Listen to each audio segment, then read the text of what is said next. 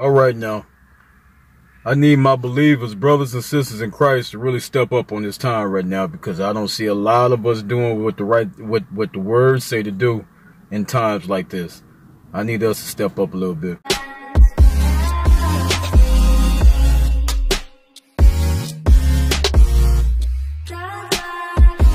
Get around Vegas. This is James Sutton, Las Vegas, Nevada.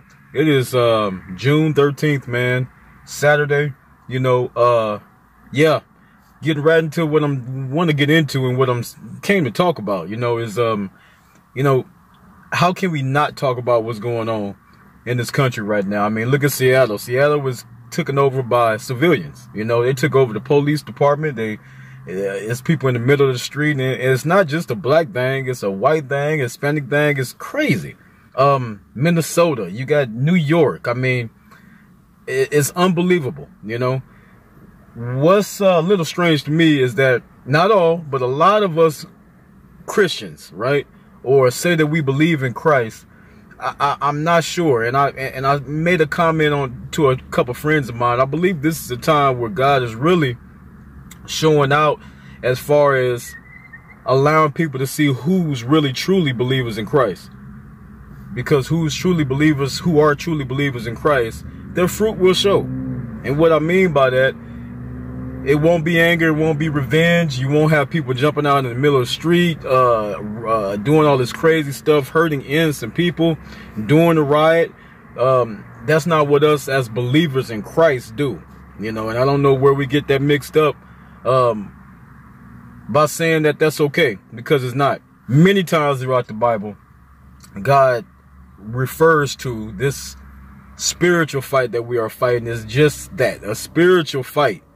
We don't fight flesh and blood. And I've mentioned that several times on many of my videos, but you know, a lot of us believers in Christ or people say they believe in Christ, man, I'm not too sure about that. This is a illumination. This is a light, right? To show who's really believe in God and who and who doesn't. You know, listen, brothers and sisters in Christ, or if you're not a believer in Christ, just hear me out. You don't got to believe me. Like I say in all my videos, I talk from my personal opinion. You have a right to believe what you want to believe, just like I have a right to believe what I want to believe, right? Sorry about that. That was a text. Um, but this is what I believe. The way we get things done in this country is not this way. The rioting, the looting, taking over cities, that's not the way we do that. And if you're not a believer in Christ, I get it. I understand why you act like that. But if you are, you need to go back to the drawing board and check ourselves. And that goes for preachers, and anyone who says they believe in Christ because a lot of people that fa that falls into this cat category of what I'm talking about aren't just regular people. I've heard preachers and I heard priests and I heard different type of people speak hate.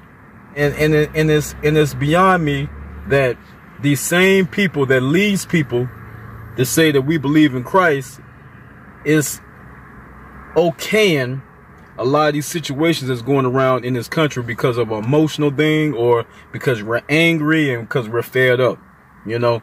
And I don't got to throw out scriptures. Anybody that know what I'm talking about, it's all in the word. You know, just go in there and look. Uh, come on, y'all. We got to get this together in the right way. Let's go to our our our, our city, states, and legislators, legislation and Senate. Let's sit inside these uh, board rooms where on um, the city council and let's get some of these laws passed that we don't like, you know. But um, to say that we have a right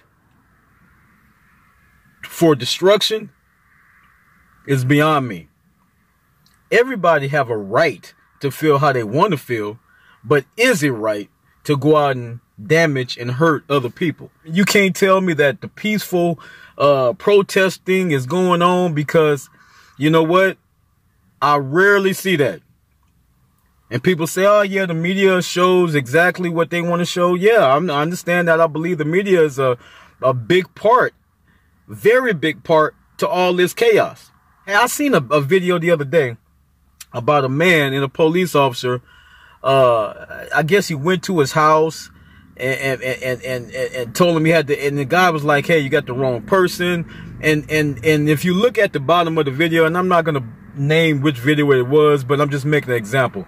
If you look at the bottom of the video, whoever created this made it look as though that this just happened. Ironically, I personally seen this video over a year ago. But whoever put this video out gave the impression that this recently happened just a couple months ago or a month ago. Like I said before, um, the devil is busy. He uh he takes no prisoners, you know. He don't care what color you are, what what what what uh, nationality you are. He accept all who believes in him. So before we uh continue on destruction out here, y'all, let's think about what we're doing. If we call ourselves believers in Christ, it can't just be by word. That has to be by action too, because our fruit is what tells who we are. As the Bible says, and I'm paraphrasing some things, right?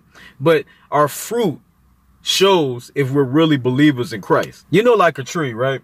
A tree, you gonna know what type of tree that is because of what fruit it bears, right? If it's apple tree or, or whatever type of tree, you can go, okay, that's an apple tree because it's bearing that type of fruit. This, that's exactly what I'm saying about our fruit as people.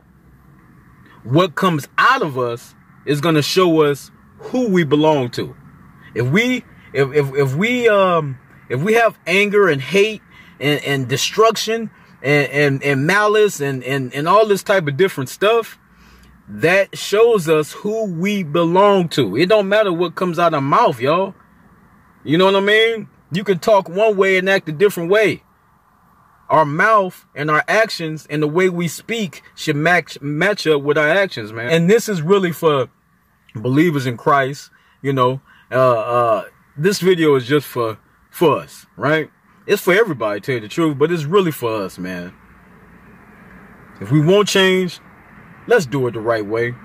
You know what I mean? No matter what political party that you decide or you vote for, if you watch my videos before, people know I'm a conservative. People know that um, uh, I, I vote for Trump.